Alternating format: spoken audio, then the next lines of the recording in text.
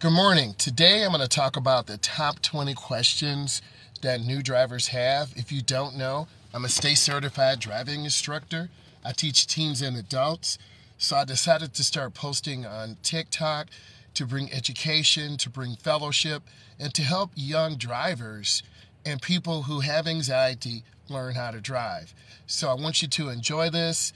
Any questions you have, please type them in and my goal is just to do as best as I can.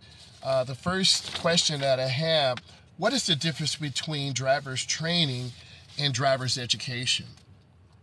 Driver's education is an actual class that you're going to take, where usually it's in a public school, uh, it's in a third party educational setting where you have a certain number of sessions you have to take my location, you have to have 24 hours of class, you have to have six drives, and you have to have four hours of observation. Everyone is a little bit different. We do make custom packages for students who need a little support. And when you have support, you're able to reach your goal. Driver's education is different for different people. I want you to understand this. And what do I mean by this? Considering maybe you're 25 or 27, you had your permit, it expired, you're going to have to go back to the DMV and practice, and you're going to get your temporary instruction permit. That's called your TIP. And then you're going to practice for 30 days. You might take a couple of sessions with me. You might book an online session with me. I can tell you some things you need to do to prepare for your road test because I do prepare adults and teens for road test also. You've seen some of that content, and I'll push out more. Uh, in terms of um, driver's training, this is where you're going to go, and someone is going to train you how to drive, how to park, how to merge on the expressway, and then those things will help you reach your goal. So once you are helped to reach your goal, the goal is is to get your permit. The goal is is to be independent. And uh, post COVID, it is very important that you reach your goal and that you set best practices. Um, ultimately, I want to see people help themselves. Anxiety is very real one of my close family members was uh, involved in an accident and they can no longer drive on the expressway. Uh, thank you. And anxiety is real. Don't let anyone think and tell you that it's not real. You need support. We all need support. Um, number two, I am am I required to take driver's education course to obtain my class D? If you're under 18 years old, you will need to show proof of taking driver's education course the course must be approved by the Department of Driver's Education Services. You also need to complete 40 hours of supervised training, six hours of driving. Um, certain states have certain requirements. For example, Georgia, you have to have 40 hours of supervised driving. My location, you have to have 30 hours of supervised driving. It varies from state to state, province to province. So, all of you who are watching, I strongly suggest you contact your DMV and then you reach out to me so I can make a custom learning platform for you uh, to help you reach your goal. And your goal is to help you get your permit, to help you get your license, or to talk to you to give you your support. Okay? Next question What is a certified driver's education course? A certified driver's education course is designed and approved by DDS. Driver's education courses not approved by DDS cannot be used for purposes of taking a Class D uh, course. So the courses have to meet state requirements. And those state requirements could be you have an authorized location, you are a LLC, you are registered in the state, uh, you have a certified instructor. I'm a certified driving instructor. I've been teaching over 23 years. Uh, every two years, I have to recertify with the state. I have a official driver's education instructor number with the state, so I'm not some random uncle or some random guy who is just posting videos. When I post videos, it's from the context of a state certified instructor to help you pass driving, to help you pass test. And then I discover and go over some of the common areas where people fail. So I give you real value. And when you see real value, you'll follow, you'll like, you'll leave comments, and then I answer those comments. Okay, my bio is, you know, in there and you can look. Um, next, how is driver's education structured? Okay, driver's education classes are structured based on the state or provincial requirements. It could be 50 hours of supervised driving, um, four hours of observation. You would have to take a state examination. It could be 80 questions, 60, 150. So you need to really prep and prepare. I think a lot of teens post COVID wait till they're 18. Hey, I'm going to wait till I'm 18. Um, I'm not going to take driver's ed courses with those little kids. I'm almost 17. Well, you have to look at your financial situation. Um, if you're closer to 18 and you have a job, maybe you should wait to 18. If you sign up for a driver's ed course now, you will be with younger kids you will be with people who are 14, 9, 15, 16, almost 17. So if you are 18 and up and you don't want to be with kids, then you need to go to the state and see what you need to do to get your TIP. Then you need to reach out to me. Uh, we can jump on the phone, we can do a video call, and I can tell you your best plan of action to help you reach your goal. And I think a lot of young people, and I'm saying young 18 to 25, you want to get your license, you work, but you don't have time. So you need someone like me to help you get to your goal to get your license. It could be as simple as making a schedule, right? Um, two days a week, I'm going to do class virtually. Two days a week, I'm going to work on my driving when my mom or dad get home and maybe on Saturday or Sunday they can help me. Because if you don't practice, you won't be able to get out there and really drive safely to pass your test. Ultimately, you're going to have someone evaluating your driving. Can you parallel park?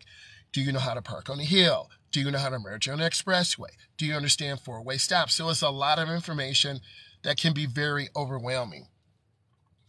Uh, what is 30 and 6? 30 and 6 driver's education courses is a traditional course consisting of at least 30 hours of instruction in a classroom environment. I do a virtual classroom environment because I've made that choice post COVID to set up a social media platform to teach driver's ed. And if you guys are interested, you need to be reaching out to me so I can help prepare you for the next step in your life because driver's education or driving in general is a huge undertaking. And if you do it right, you're going to be safe the rest of your life. If you do it wrong, you rush, you're not consistent, you're going to end up learning bad habits, maybe changing lanes in the middle of the intersection, not using your blinker consistently, uh, not stopping completely at four way stops. So, a lot of questions I get are about those basics, and I can go over those. So, you have to have that practice. You have to have your behind the wheel driving time. This is where you and your instructor, you and someone over 21, get you out into a parking lot, get you into a neighborhood where you're making 12 right turns, 12 left turns, right? And then once you get out there, then you're going to be better able to pass that test. Because if you can't drive in a parking lot, meaning making right turns, making left turns, you're going to struggle um, really getting prepared to do your best on a road test where you have a state certified road tester who's going to tell you, okay, I need you to make a right turn. I need you to make a left turn. I need you to merge on the expressway. And if you can't do those things or you're hesitant, you're going to end up being marked down. Okay. So this is why it's so important that you leave comments, you like my content, you ask questions because I do care because I'm a teacher, I'm an instructor, and I want you to live your best authentic life. I am ready to apply for my Class D driver's license. What is the supervised driving and how do I need to log? Well, when you go to the DMV, they're going to give you a paper uh, log to fill out. Some people use the digital format. I'll be coming out with a new digital system uh, to help you organize and keep and log your hours. You need to at least be 21 if you're going to be supporting someone learning how to drive. You need to possess an unexpired Class D driver's license. You need to be in the seat next to them, in the passenger seat. You need to be capable, and this is important, you need to be capable of controlling the car in case they veer toward a pole, uh, hit a curb, because a lot of times beginning drivers panic. So you need to wear thin sole shoes. You need to be more consistent and get out there and trust it. You don't need someone screaming at you. You need someone who's going to support you, who's going to love you, and who's going to care about you. No law book is required for supervised driving. However, at the time of application for the Class D license, a parent, guardian, or and duty authorized DDS certified driving education instructor, woo, me, can help and document those hours this applicant needs to have 40 hours of driving. So before you take your road test, let's pretend you're 18, you've went to Secretary of State, you took your test, you took your vision test, you passed the knowledge test, you've been driving for 30 days, you have hours. You have to show proof of that. Then you show your ID, passport, you show them your hours, and then you're ready to take your test. Okay? Can I take driver's education online? Yes. This is where you need to reach out to me. I'm a state certified instructor. I go over the basic rules, right of way, uh, demonstration of insurance. A lot of these things, a lot of beginning drivers don't think about. So you need to be able to have knowledge of these things. So, what better person than me to help you? 30 hours classroom part of the driver's education course may be taken online. And more and more states are going to that because it's a way of the future. Gone are the days where you're going to go into a school, go into a building, a brick and mortar location. There's nothing wrong with it. But online classes are so convenient. You could be at home 6:30 to 8:30, 7:30 to 9:30. You can relax. I do different interactive games to help you learn how to drive. And then we review those games together one on one, and then I can show you what you missed. We can go, oh, oh, thank you. Um, I wasn't sure about the rules of the right of way. Oh, if a funeral procession comes, I didn't know what to do because you could fail your road test if you make even the slightest mistake. A slightest mistake will be going 10 under, 12 under the limit. I had a client go too slow, 12 under, 15 under. They had a restricted license. I helped them pass, but they had a restricted license. Okay, so I want to continue. Um, yes, you can take your driver's education course online. It also uh, must be approved in other states, so I do meet that qualification. Be sure to register for a course that meets uh, Joshua's Law. That's an example as well as teens under 18 must complete a supervised driver's training.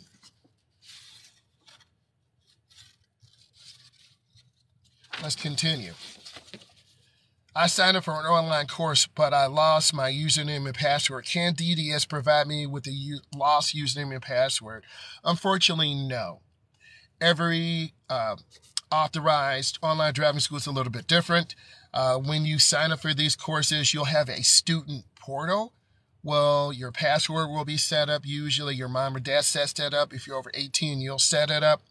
I'm a firm advocate of people, regardless of your age, taking a driver's education course. We all need to refresh our skill sets, right? We all need to get better.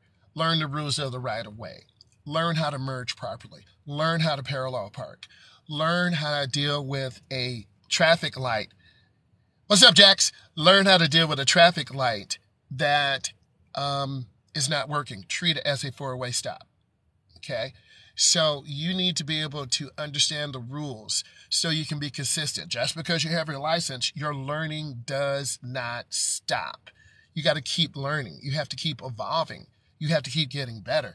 I'm thinking about getting my class one CDL. So I can perhaps drive a party bus, right? And that's an opportunity for me. I already have my chauffeur's license. I'm already a certified instructor. I already have my driver's license. So that will be another part and another element to make me more valuable for a company, for myself. So you always want to think of opportunities. The transportation industry is incredible and there are new opportunities every single day. Okay, why do you think you see you uh, um, uh, all these transportation uh, agencies coming up, and they're looking for new drivers? Okay, just to name some, Amazon, UPS. They pay a lot of money, but you have to work crazy hours. But if you're willing to be crazy and make good money, you can really pay off your college debt. You can get a house. You don't have to work that type of job forever. But that's a great skill to have on your resume. Okay. So you got to think long term, but it won't happen if you don't have your driver's license. You follow me? You got to have that license. That's the first step. Are driver's education instructors employees of DDS? Driver's education instructors are employees of a school. So I'm a certified instructor. If I go to various schools, I could start a driver's education program. I'm certified by the state. I would need to get a driver's education car, have the dual mirror, put a brake in there, get a name, get the proper insurance, and then I would set up my schedule. There are a lot of schools around the country and around the state where there are 150, 200, 500 kids who want driver's ed, but they have to travel 30 minutes away, 45 minutes away to drive. So if you have that vision and and have an extra car and get certified, you got to be 21 to take those classes. It's a great opportunity. Um, and once you do that, you could make limitless money. Okay. Does the state contact the driver's education schools? The state does contact your driver's education schools in case of an audit they want to see your driver's education records. They want to make sure you have proper insurance. Oh, if there's a complaint, and occasionally complaints do happen. Maybe a client is not happy. Maybe an instructor snapped on a student. Those things do happen occasionally. Sometimes there's a personality conflict. I've worked at a location. I was the main instructor teaching 36 students. I would drive 20. The other instructor would drive 16. A client or a parent was not happy. Hey, I want to talk to you. Your instructor was very rude to my son or daughter. They feel very nervous, right? Um, so it's all about relationships. And let's use Jax for a minute. Uh, one of my former students, uh, this was doing a really difficult time. And I support my students. I care, you know, having a good sense of humor, um, really educating them the best way you can. And most of the time, 99%, there's a good connection with your students, a good connection with the parents. Um, one of my good friends, Mr. Frank, said, always talk to the parents. After the drive, I always talk to parents. I always say hi. I always mention, hey, your son or daughter did well. We parallel park. We make right turns. We make left turns. And once parents hear that, they're like, oh my God, you did? So that is so important. Yes, uh, parents look out for you, bring you a coffee, a donut, because we care. And during COVID, it was a very difficult time. Also, uh, a lot of parents were calling and reaching out. It was a difficult time because a lot of driver's education schools had shut down, and you had hundreds, if not thousands, of students who were left out in the cold. So that really taught me a lot. It helped make me um, prepared to think about going out on my own, to think about providing a more customized service. And every school is different. You need to do your research. Are the instructors young? Are they old? Do you have new cars? Do you have old cars? Do the instructors have their own custom curriculum? I do.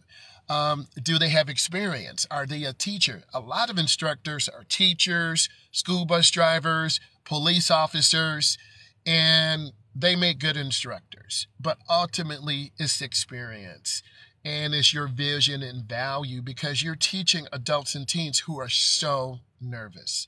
They are scared. And if you scream or grab the wheel, you're really going to scare them. So you want to give love, you want to give support, you want to give understanding. What if my child, what if my child had a, a driver's education in another state? Um, you need to check with the local driver's education facility and call the state that you live in. Sometimes they may make you take the driver's education process. So, example, I've driven some students that live in Canada. Their rules are a little bit different. I had a student who came to uh, a different state from Georgia. So you need to do research to make sure that you're meeting those state qualifications. Uh, what can I do if I experience problems with the driver's education school or instructor? All complaints go to the state that you're in. There's websites that you can leave information, um, and then the state will investigate what needs to be done, whether it's changing uh, the practice that the driver's education school does. It could be talking to the instructor. It could be disciplinarian issues with the instructor but it has to be a lot of complaints. It can't be just, well, my instructor was late or my instructor raised his or her voice. Um, you got to be really careful. You have to have your kid gloves on, right? So I want to say that it's really a mindset, and you got to do your research. You got to call the driver's education school. Most schools have a website, some don't. Uh, it's by word of mouth. And overall, you will hopefully get your license, have a good experience.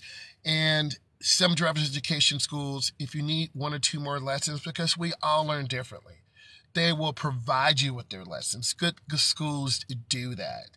Ladies and gentlemen, I want to say thank you. If you have questions or comments, you know, leave comments, reach out, and then we can talk one on one. I'll set something up where we can set up a meeting and then we can talk to prepare you for your next step in driver's education. I am a state certified driving instructor. I do have an authorization number with the state. So I want to continue to bring you value. I'm going to go live this afternoon and I'll go live this evening and just look at my uh, bio. Um, and then I think my email is linked in there and just reach out. So I wanted to say thank you and I need you guys to have a good day. Bye.